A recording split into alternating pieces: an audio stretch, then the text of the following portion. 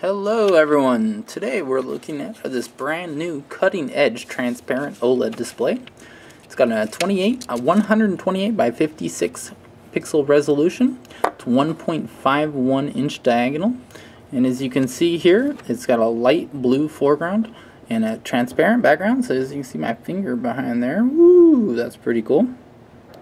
Um, when it's lit, it's about 70% transparent and this display supports parallel, I2C, and SPI interfaces.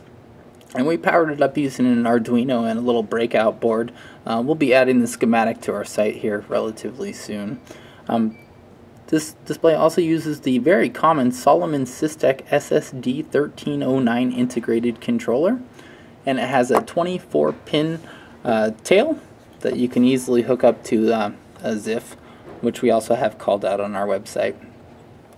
So if you have any questions or comments about this cool transparent OLED display, leave them in the comments section below and you'll be able to find all the product information on our website and that link is also below in the description.